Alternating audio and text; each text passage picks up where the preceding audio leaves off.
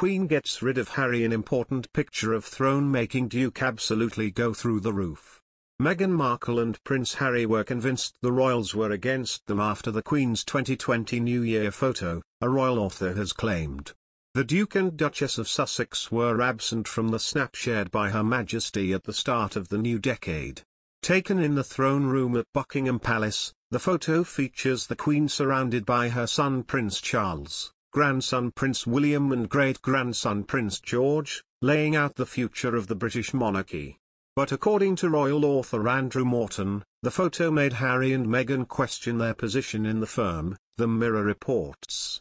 Writing in his unauthorized biography, Meghan, a Hollywood princess, Morton claims, the royal couple suspected that the entire institution was conspiring against them. As they saw it, the evidence was all around them. The unspoken code was straightforward, the future of the monarchy was assured, with or without Meghan and Harry. The Queen has also failed to mention Prince Harry and Meghan Markle in her Christmas address while praising Prince William and Kate. Her Majesty delivered a poignant traditional festive address this year as she lamented Christmas without her beloved husband, following his death aged 99 in April, The Sun reports. She spoke movingly about missing the mischievous twinkle and familiar laugh of Prince Philip in her Christmas Day message. This Christmas is the first for 73 years she won't be spending with Prince Philip. In a deeply personal message, the monarch fondly recalled his sense of fun but also said she was proud beyond words of his achievements. The Queen said her late husband was an early champion of taking seriously our stewardship of the environment. She talked about how Prince Philip's legacy was being carried on by the Duke and Duchess of Cambridge. I am proud beyond words that his pioneering work has been taken on and magnified by our eldest son Charles and his eldest son William, admirably supported by Camilla and Catherine, most recently at the COP Climate Change Summit in Glasgow.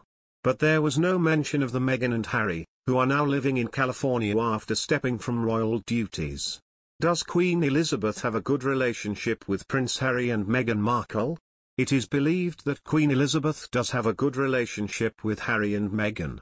Despite the alleged rift between the Sussexes and other members of the royal family, the couple still talks positively about Her Majesty.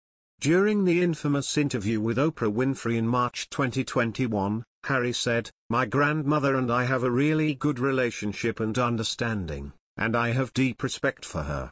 Meghan also said that the Queen had always been wonderful to her. She described their 2018 visit to Cheshire together and noted that Her Majesty made Meghan feel comfortable. Meghan remarked to Oprah, It made me think of my grandmother, where she's always been warm and inviting and really welcoming.